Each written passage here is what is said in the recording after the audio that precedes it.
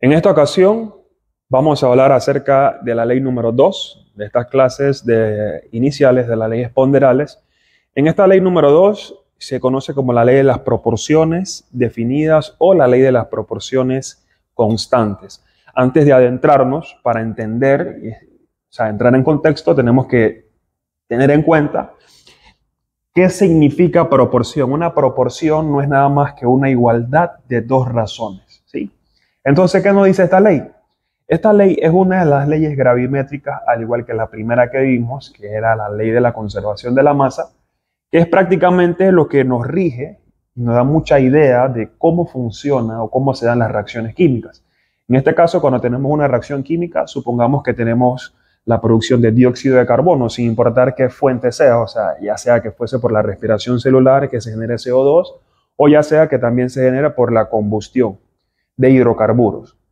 Bien, supongamos que tenemos que se produce CO2, ¿no? Dióxido de carbono. Si vemos la proporción que existe aquí, que la proporción es en base a números enteros, tenemos que por cada un átomo de carbono hay dos átomos de oxígeno.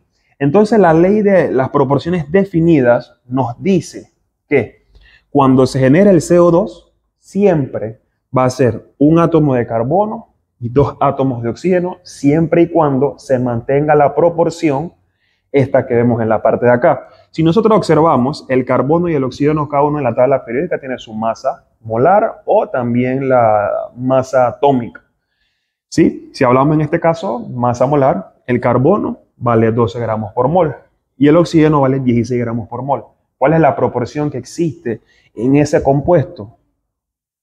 Uno de carbono, dos de oxígeno. Entonces yo tendría que multiplicar la proporción que existe de ellos por la masa. Y vamos a obtener entonces la masa que sería 12 gramos por mol, 32 gramos por mol de ambos. Entonces lo que nosotros hacemos es que igualamos estas dos masas. Al igualar estas dos masas, entonces tenemos una proporción. La proporción nos dice que por cada 12 gramos de carbono tendré 32 gramos de qué? De oxígeno. Entonces, lo único que yo hice aquí es realizar una proporción, o sea, una igualdad de dos razones que son equivalentes. Eso es más matemática, ¿no? Entonces, resulta que si yo tengo diferentes tipos de enunciados, problemas, ejercicios, me pueden preguntar cuántos gramos necesitarías o cuántos gramos se tiene de tal elemento si cuentas con tantos gramos de este elemento. Bien, como esta ley es constante, proporciones definidas, proporciones constantes, yo pudiese saber la cantidad del otro elemento. Bien, este problema nos dice, se los pondré acá arribita para que lo puedan leer, una muestra pura de fluoruro de sodio contiene 35 gramos de sodio. 35 gramos de sodio. Y nos hacen la pregunta, ¿cuántos gramos de flúor están presentes en esta muestra? Bien, la ley de las proporciones definidas, la ley de constantes, me dice a mí cuál es la proporción cuando se genera fluoruro de sodio. Entonces lo que yo tengo que hacer es buscar cuál es la proporción según este compuesto que vendría siendo el fluoruro de sodio. El sodio tiene 23 gramos por mol. Esa es su masa molar y la del flúor es 19 gramos por mol.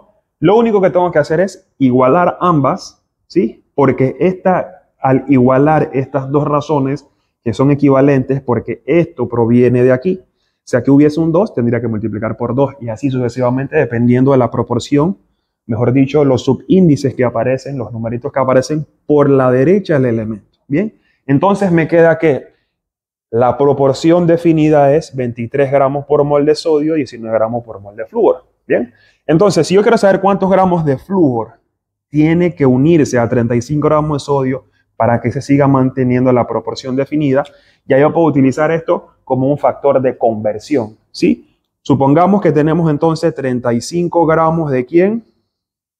De sodio. Bien. Ahora, yo puedo utilizar el valor de allá como un factor de conversión. ¿Ok? Entonces, gramos de sodio tiene que simplificarse con gramos de sodio. Entonces, este factor de conversión yo lo voy a utilizar a mi conveniencia para poder simplificar y siempre en la parte de arriba obtener lo que estoy buscando, que serían los gramos de flúor.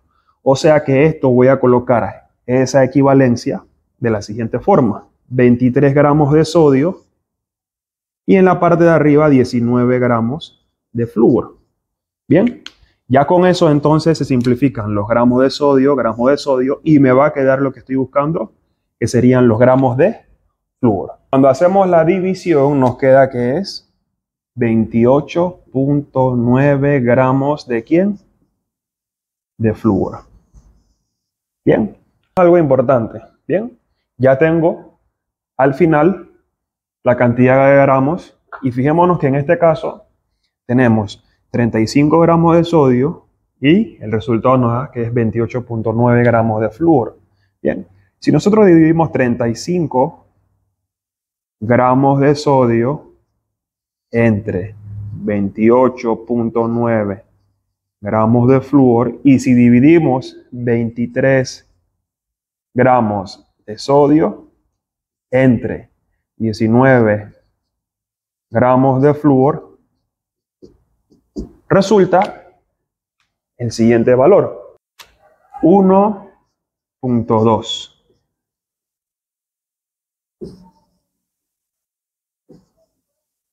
Bien, entonces tenemos el mismo cociente.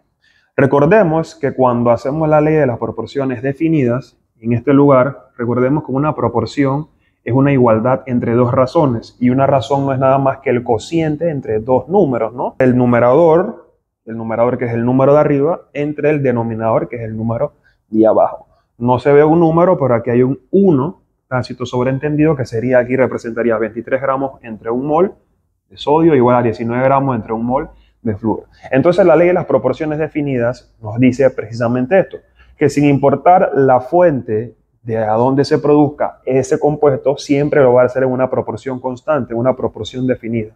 En el próximo video veremos que, qué ocurre cuando no se cumple con la misma proporción para siempre producir ese compuesto, en este caso fluoruro de sodio. Vamos a verlo en este ejemplo y más adelante entonces uniremos eh, las cuatro leyes, en este caso con este ejemplo creo que está bastante claro, así que espero que te haya servido mucho para entender esta segunda ley ponderal, que es la ley de las proporciones definidas o de las proporciones constantes establecida por el señor Proust.